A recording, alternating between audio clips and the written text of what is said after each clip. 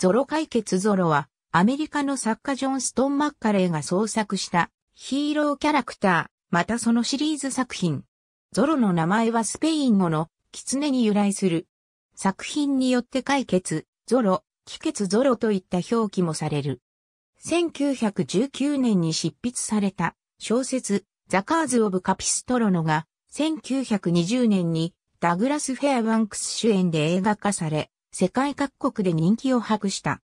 その後、何度も映画化され、1998年と2005年にはアントニオ・バンデラスがゾロを演じる作品2作も公開され大ヒットを記録した。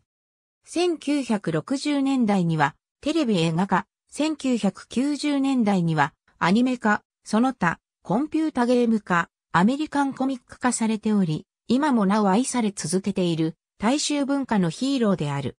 メキシコがまだスペイン領だった頃、その辺境カピストラの地方で活躍する仮面の剣士、ゾロは強気をくじき弱気を助く大盗賊にして、真の紳士。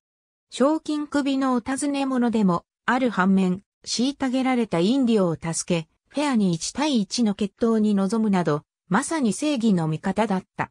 彼が現れた後には、壁にサーベルで Z の字が彫られ、これが彼のトレードマークであった。